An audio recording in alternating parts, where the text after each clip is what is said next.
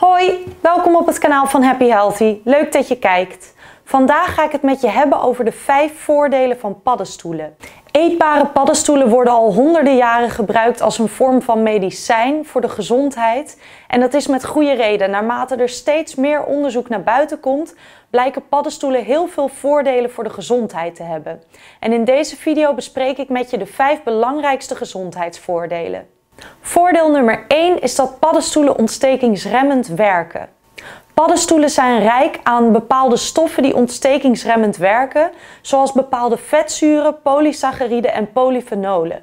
Ons lichaam heeft iedere dag te maken met ontstekingsprocessen. Dit is een natuurlijke reactie van het immuunsysteem. Maar wanneer jij te veel ontstekingsprocessen in je lichaam hebt, kan dat ziektes veroorzaken, zoals hart- en vaatziekten en diabetes. En deze ontstekingsremmende werking van paddenstoelen kan dan ook mogelijk het risico op deze ziektes verlagen. Voordeel nummer 2 is dat paddenstoelen kunnen helpen bij het afvallen. Paddenstoelen zijn van nature rijk aan vezels en die kunnen dus voor een verzadigd gevoel zorgen. En daarnaast hebben paddenstoelen van nature een redelijk grote omvang voor een relatief lage hoeveelheid energie. Nou, ik heb hier even twee varianten. Uh, alle varianten eetbare paddenstoelen hebben gezondheidsvoordelen. Ik heb hier even twee voorbeelden om ze een beetje te kunnen vergelijken. Ik heb hier de kastanje champignon en de portobello paddenstoel. Um, nou, om even te kijken hoeveel vezels en calorieën bevatten ze nou. Deze bevatten, de kastanje champignons bevatten per 100 gram 30 calorieën. Nou, dat is bijna niks. En 0,6 gram vezels. Het is natuurlijk niet super veel vezels voor 100 gram, maar je eet misschien wel meer dan 100 gram en daarbij kan het toch een goede bijdrage leveren aan de hoeveelheid vezels die je per dag eet. Nou, hoe zit het dan met de portobello paddenstoel?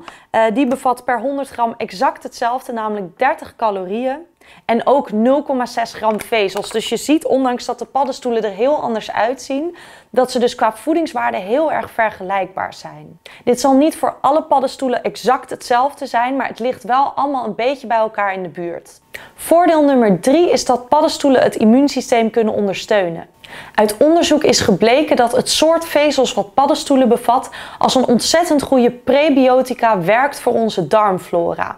De darmflora is eigenlijk de groep bacteriën die jij in je darm hebt. Uh, vooral de goede bacteriën natuurlijk. En de prebiotica is een vorm van voeding voor die goede bacteriën. Mocht je meer willen weten over pre- en probiotica, dan heb ik daar een video over gemaakt die ik onder in deze video zal linken. Paddenstoelen zijn dus een goede vorm van voeding voor de goede bacteriën in jouw darmen. En wanneer jij de goede bacteriën in jouw darmen de juiste voeding geeft, dan kunnen ze groeien, groeien in aantallen. En die bacteriën blijken ook heel belangrijk te zijn voor ons immuunsysteem. En zo ondersteun je dus ook jouw immuunsysteem. Voordeel nummer 4 van paddenstoelen is dat het goede vitamines en mineralen bevat. Zo zijn paddenstoelen rijk aan B-vitamines. Uh, B-vitamines zijn onder andere belangrijk voor de energie, uh, maar ze hebben nog veel meer functies in het lichaam. Een B-vitamine die paddenstoelen niet bevatten is B12. B12 vind je eigenlijk alleen in dierlijke producten. Paddenstoelen worden soms gebruikt als vleesvervanger, maar het is dus niet echt een volwaardige vleesvervanger, omdat het geen B12 bevat. Daarnaast bevat het ook weinig ijzer, wat veel vlees wel bevat. Paddenstoelen bevatten wel een redelijke hoeveelheid plantaardig eiwit. Uh, nou, om even te vergelijken, de kastanje champignon bevat per 100 gram 2,5 gram eiwit, wat vrij hoog is voor de meeste groentes. En portobello paddenstoelen bevatten ook 2,5 gram eiwit. Nogmaals, het zal een beetje verschillen per champignonsoort of per paddenstoelsoort. Um, ik heb hier toevallig twee die heel erg vergelijkbaar met elkaar zijn, maar ze zijn allemaal redelijk rijk aan eiwit als het gaat om plantaardig eiwit.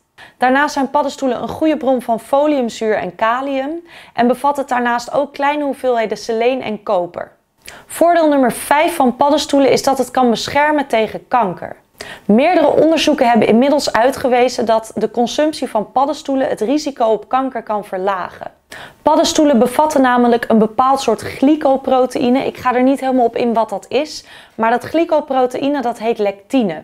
En lectine lijkt zich te binden aan schadelijke cellen in ons lichaam, waardoor het voor het immuunsysteem makkelijker is om deze kapot te maken. Deze werking lijkt dan ook een kankerbeschermend effect te hebben.